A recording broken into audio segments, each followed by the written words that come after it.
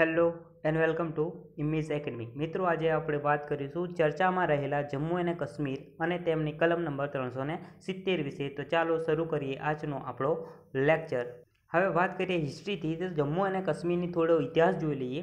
તો અઢારસો છેતાળીસમાં રાજા ગુલાબસિંહે ઈસ્ટ ઇન્ડિયા કંપની પાસેથી કાશ્મીર ખરીદી અને ત્યાં જમ્મુ કાશ્મીરની સ્થાપના કરાવી, કરી હતી. તો જમ્મુ કાશ્મીર બનાવનાર હતા રાજા ગુલાબસિંહ. ઓગણીસો સુડતાલીસમાં જ્યારે પાકિસ્તાને થોડું કાશ્મીર જીતી લીધું હતું, ત્યારે રાજા હરિસિંહને ફરજ પડી કે તે ભારત સાથે જોડાય અને તેમણે વિલયપત્ર પર સહી કરી છવ્વીસ ઓક્ટોબર ઓગણીસો સુડતાલીસના રોજ.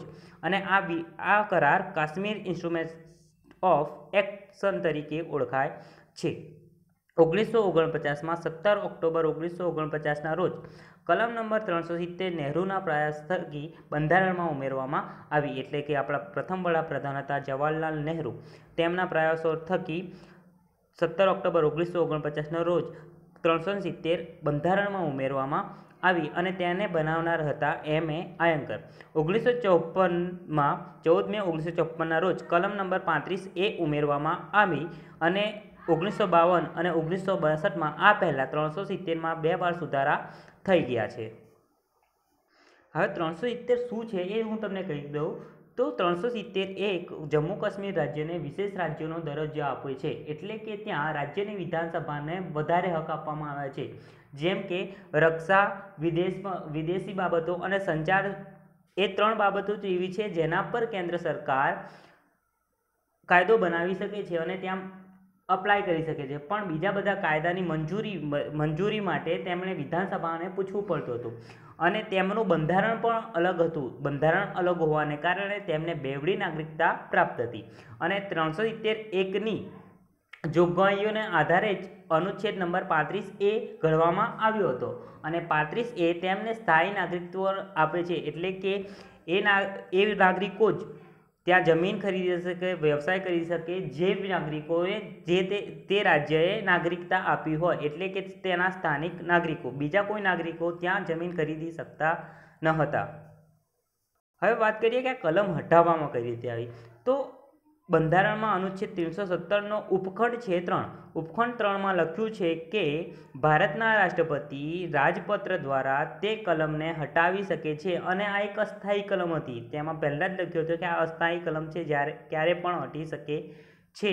અને તેમાં ઉપખંડ ત્રણમાં લખેલું હતું ભારતના રાષ્ટ્રપતિ રાજ્યની વિધાનસભાના સહમતિથી આ અનુચ્છેદ ત્રણસો સિત્તેર હટાવી શકે છે એટલે કે ત્યાંના રાજ્યપાલ અત્યારે જે છે તેમણે મંજૂરી આપી કે અમારી અમારી મંજૂરી છે, તેમણે એ રાજ્યની મંજૂરી સમજી અને રાષ્ટ્રપતિએ રાજપત્ર બહાર પાડી, આ કલમ દૂર કરી છે. આના માટે કોઈ ખરડો કે કોઈ વોટિંગ કરવામાં આવ્યું નથી. અત્યાર સુધી બધાને લાગતું હતું કે આના હટાવવા માટે મોટામાં મોટો સુધારો કરવામાં આવશે, પણ આવું કશું જોગવાઈ કરવામાં આવી નથી. માત્ર એક ઓર્ડિનન્સ પાસ કરવામાં આવ્યો, જેના દ્વારા આ કલમ હટી ગઈ.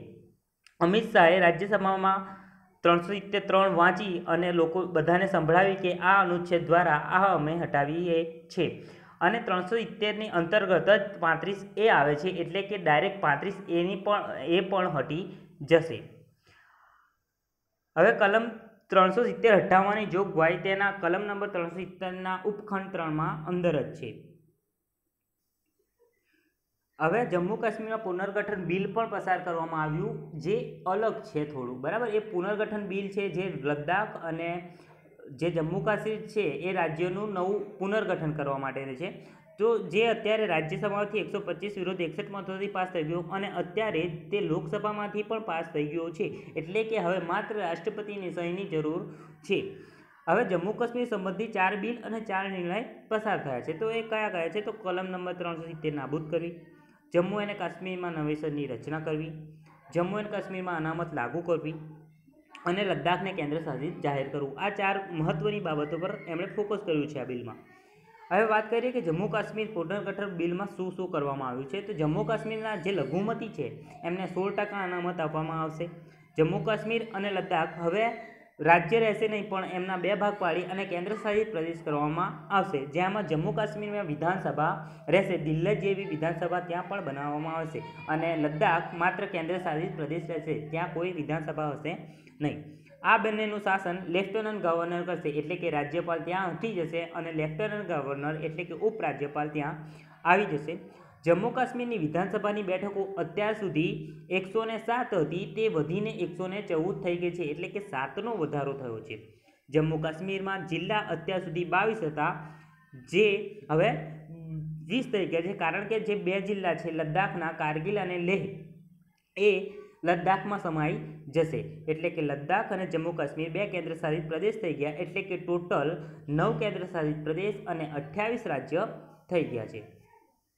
હવે આ ઓર્ડિનન્સ ત્રણસો સત્તર હટવાથી શું શું ફેરફાર થશે જમ્મુ કાશ્મીરમાં, તો તે જોઈએ. તો બધાનો એક જ તિરંગો છે એટલે કે અત્યાર સુધી રાજ જે વિધાનસભા જમ્મુ કાશ્મીર રાજ્ય હતો ત્યાંનો અલગ પણ તિરંગો હતો, પણ હવેથી ત્યાં માત્ર એક જ તિરંગો હશે આઈપીસી લાગુ થશે. આ ઇન્ડિયન પિનલ કોડ અત્યાર સુધી ત્યાં લાગુ નહોતું થતું કારણ કે ત્યાં રણવીર પિનલ કોડ આરપીસી લાગુ થતો હતો, પણ બંધારણ એક થવાથી ત્યાં આઈપીસી પણ લાગુ થશે. બેવડી નાગરિકતા રદ થશે. એટલે કે ત્રણસો સિત્તેર હટવાથી જે બેવડી નાગરિકતા મળતી હતી એ પણ દૂર થશે. બધા ત્યાં નિવાસ કરી શકશે અત્યાર સુધી જે માત્ર ત્યાં સ્થાયી નિવાસી હતા, ત્યાં પણ, ત્યાં જ તેઓ રહી શકતા હતા. જે બહારના નિવાસીઓ હતા, તેમના થોડા દિવસ માટે જ પરમિટ આપવામાં આવતી હતી. એટલે કે હવે ત્યાં બધા નિવાસ કરી શકશે. જમીન ખરીદી શકશે. એટલે કે અત્યાર સુધી જે સ્થાયી લોકો હતા, તે તે જમીન ખરીદી અને વેચી શકતા હતા એકબીજાને. પણ હવે ભારતનો કોઈ પણ નાગરિક ત્યાં જમીન ખરીદી શકે છે. આરટીઆઈ એક્ટ લાગુ થશે, જે બે હજાર પાંચનું રાઇટ ટુ ઇન્ફોર્મેશન એક્ટ હતું. એ એક્ટ પણ ત્યાં લાગુ થશે. અત્યાર સુધી તેમના વિધાનસભાનું જે વર્ષકાળ હતું તે છ વર્ષનું હતું, પણ હવે બધા ભારતની જેમ તેમની વિધાનસભામાં પણ પાંચ વર્ષ થઈ જશે. અને તેમનું બંધારણ જે અલગ હતું એ રદ થશે અને આખા ભારતનું એક જ બંધારણ થઈ જશે. જો તમને આ વીડિયો પસંદ આવ્યો તો લાઈક કરો, શેર કરો અને મારી ચેનલ સબસ્ક્રાઈબ કરો. Thank you.